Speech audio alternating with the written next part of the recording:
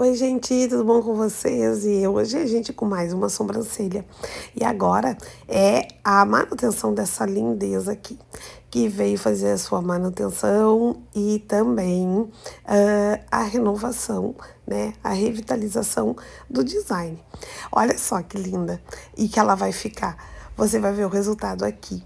E a gente começa então fazendo a limpeza, cobrindo para a anestesia pegar bem e tocamos lá fio a fio realista. E eu sou enfermeira Silvana, enfermeira especialista em cosmetologia e estética avançada. E se você também tem vontade de fazer esse tipo de procedimento e outros que nós temos aqui na nossa clínica, me segue, olha aqui nesse canal, olha aqui no meu Instagram, enfermeira, underline, Silvana, underline, job, J-O-B Job, você também vai poder ver muito do que a gente tem feito por aí afora. Tá bom, gente? Vou parar de falar porque eu tô rouca mesmo.